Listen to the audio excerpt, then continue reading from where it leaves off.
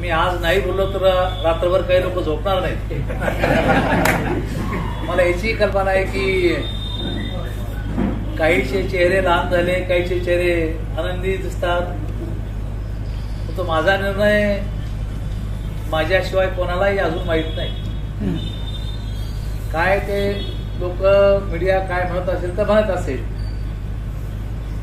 तर तुम्ही परिवारामध्ये आणि आपल्या या परिवारामध्ये बोलून या ठिकाणी हा निर्णय घेणार आहे. खरं तर माझ्यासारख्या कार्यकर्त्यावर चाळीस वर्षे काम करणाऱ्या कार्यकर्त्यावरती अशा पद्धतीनं बोलण्याची पाळी येते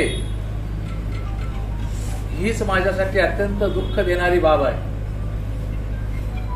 ही माझ्यासाठी अत्यंत वेदनादायी बाब आहे की गेली पाच दिवस मी आरोपीच्या पिंजऱ्यामध्ये उभा आहे. काय होणार आहे काय नाही होणार आहे सारखे प्रश्न मला या ठिकाणी विचारल्या जात आहेत. आणि या सर्व प्रश्नाचं उत्तर मी एकच दिलेलं आहे की माझ्या गावात जाईल आणि तिथं आपल्याशी बोलेल परिवाराशी बोलेल.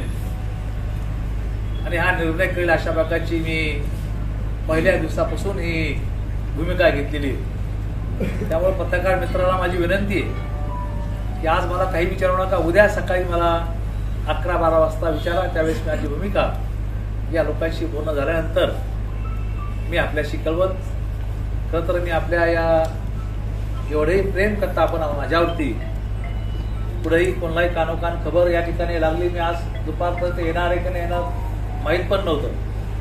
पण तुम्हाला नंतर कळलं की मी येतो आणि तेवढ्या मोठ्या संख्येने आपण या ठिकाणी पाऊस असतानाही हजर झालात. त्याबद्दल मी आपले सर्वांचे मनापासून आभार व्यक्त करतो ऋण व्यक्त करतो. आपलं प्रेम आपला सहवास हा माझ्यातून कधीही कमी होऊन देऊ नका.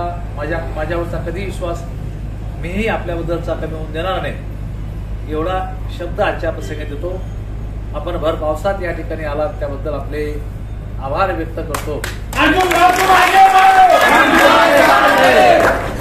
उद्या उद्या करू आपण काय? त्यामुळं आपले सर्वांचे मी या ठिकाणी ग्रामीण भागातून आलेले शहरातून आलेले सर्व कार्यकर्त्यांचे आभार व्यक्त करतो आणि आभार व्यक्त करताना उद्या आपल्याला बारा वाजता आपण अकरा वाजता इथे या. अकरा वाजता आल्यानंतर मी माझी भूमिका स्पष्ट केली. आपल्या साक्षीनेच करणार आहे. तोपर्यंत मला विश्रांती द्या. धन्यवाद. आभारी.